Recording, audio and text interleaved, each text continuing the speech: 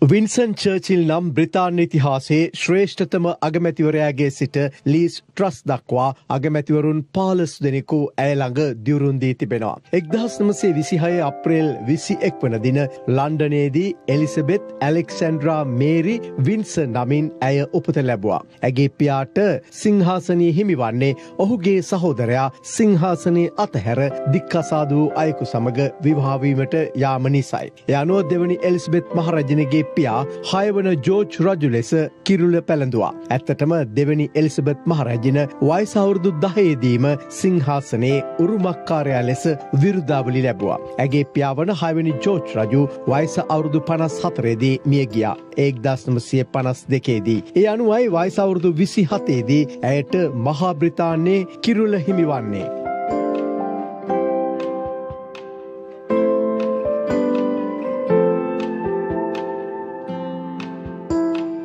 ඒ වන විටත් ඇය පිලිප් කුමරු සමඟ විවාහවේ සිටියා. ඇගේ ස්වාමි පුරුෂයා මිය ගිය පසුගිය වසරෙදී පිලිප් කුමරු මියන විට වයස අරුදු අනු නවයක් වුණා. දෙවන එලිසබෙත් මහරජනගේ සහ පිලිප් කුමරුගේ විවාහදිවියට වසර හැත්තෑ හතරක් සම්පූර්ණ වුණා. තම දරුවන් මියයද්දී තවත් දරුවන් විවාහයෙන් දික්කසාද වෙද්දී මුණුබුරන් ඇයගේ සමහර තීන්දු විවේචනය කරද්දි ලෝකයම සිය ලේලියවන ඩයනගේ මරණයට ඇගිල්ල දිගු කරද්දී ඇය පිළිතුරු දුන්නේ උපේක්ෂා සහගත සිනහවකිනුයි.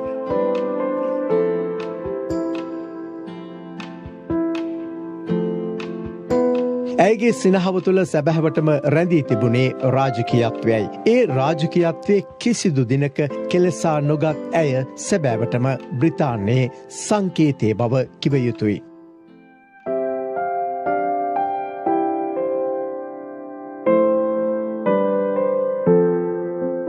දේහේ පිළිබඳ අවසන් කටයුතු තවම තිරණය කර නැතත් අවම වශයෙන් දින දහයක්වත් ජනතා ගෞරවය සඳහා විවෘත කර තැබෙන බව වාර්තාාවනවා.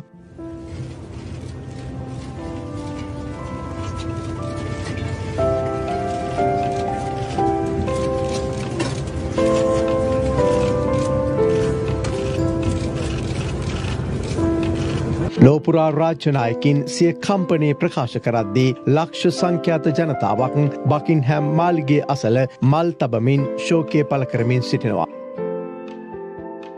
එක්දහස් නමසය පනස්තුනේදී සහ එක්දහස් නමසය අසූ එකේදී දෙවනි එලිස්බෙත් මහරජන ශ්‍රී ලංකාවේද සංචාරය කලා.